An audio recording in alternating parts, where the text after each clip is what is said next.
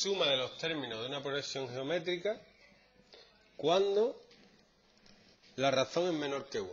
Aquí pone 0 menor que razón menor que 1. O sea que está entre menos 1 y 1. Como me aburro, voy a coger este y voy a ver lo que pasa si, si n es menor que 1. ¿Vale?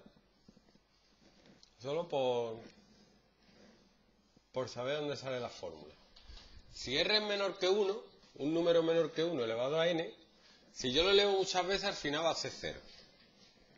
Así que me va a quedar menos a1 partido r menos 1. Que si le doy la vuelta, te da la fórmula de la suma de los infinitos, ojo cuidado, infinitos términos de una progresión geométrica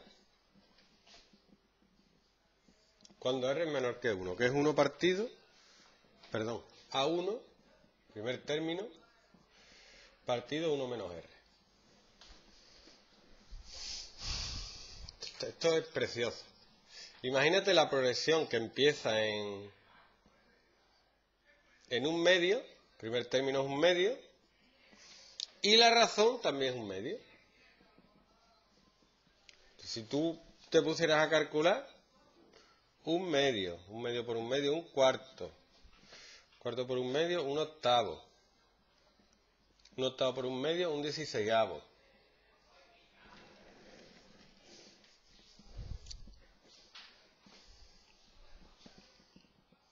¿Vale? Si yo sumo, sumo todos esos números, ¿cuánto crees que va a dar? Infinito, y tú sumas, ¿eh? No acaba nunca. Pero si, si tú sumas infinitos números, te va a dar un número infinito o un número finito. ¿Eh? No.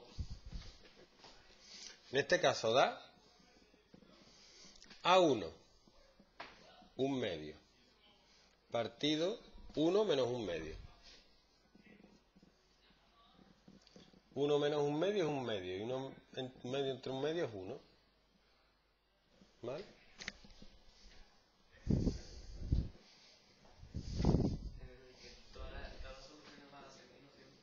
No. No, no, no, no, no siempre. Depende. Pero el caso es que si sumas infinitos números, sumas la mitad de uno. Luego la mitad de un medio. La mitad de un cuarto. ¿Ves que lo vas dividiendo entre dos y vas sumando? Al final te llega a uno. Es un resultado muy interesante. Divertido. No te tiene por qué dar uno siempre. Si tú coges que el primer término es 6 y lo va dividiendo entre 3, o sea que la razón es un tercio, pues te va a dar 6 partidos, 1 menos un tercio. A mí me interesa esto, 6 partidos, 2 tercios, que es 6 dividido 2 tercios. 9. ¿Vale? Pues que sea un número menor que 1. O puedes expresar como fracción o como decimal, 0,4, pero 0,4 es 2 quintos. Al fin, al fin y al cabo.